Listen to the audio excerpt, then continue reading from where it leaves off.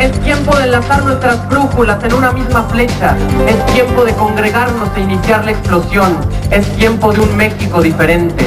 No somos dos, no somos 100, somos más de 131, somos más de 132, somos miles, somos miles, somos miles, cantando, gritando, soñando, saltando, descubriendo, cambiando, leyendo, inventando, construyendo, moviendo, moviendo, moviendo. Este es un temblor, es una ola, es un estallido que ya no parará hasta que se cumplan nuestros deseos. Queremos democracia, dignidad, justicia, queremos paz, igualdad, educación, queremos ser libres, queremos que los medios no impongan su mentira, queremos que todos tengan acceso a la información y a la felicidad. Vengan, juntos vamos a florecer.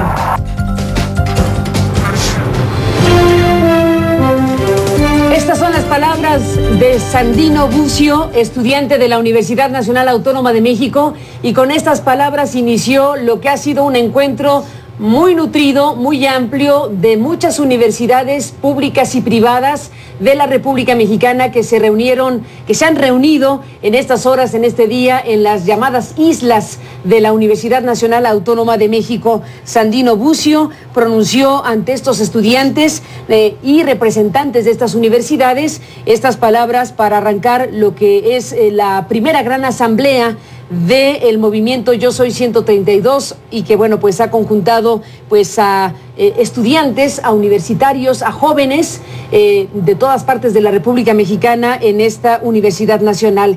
Hemos invitado a tres de estos participantes para conversar sobre lo que ha ocurrido en estas horas y en este día y le aprecio mucho a nuestros dos invitados en el estudio y vía telefónica a una de ellas.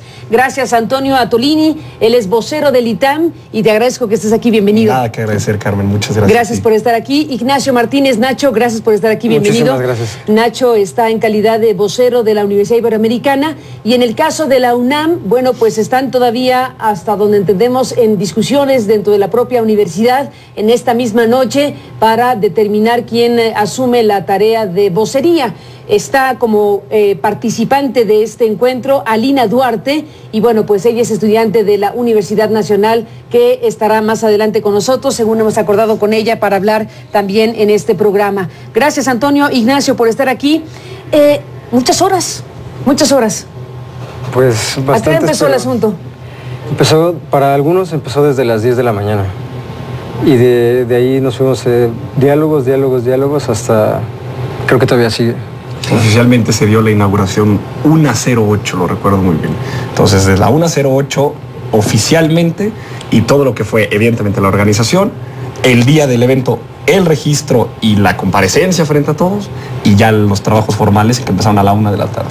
Muchas horas y muchas universidades, aquí decíamos entre 30 y 35 eh, universidades eh, o, o- o estudiantes de universidades en toda la República Mexicana, es el cálculo que se Es hace. el cálculo que se tenía, sí. Y tenemos también eh, el registro de bastantes voceros de cada una de estas universidades y algo que, bueno, como buen movimiento que es, pues está en curso y está en definiciones. Eh, una expectativa muy grande se construyó a partir de esta fecha, Antonio Ignacio, precisamente porque se ha esperado que a partir de esta gran asamblea ante ustedes se encuentren las definiciones de hacia dónde va, cuál es el foco o los focos de coincidencia entre los jóvenes reunidos precisamente sobre lo que ha irrumpido en nuestras vidas, lo que ha irrumpido masivamente en las calles. Eh, si tuvieras, Antonio, que hacer una especie de recorrido, una ficha ejecutiva de Sí. lo que ha pasado en estas horas, ¿qué nos dirías? Bueno,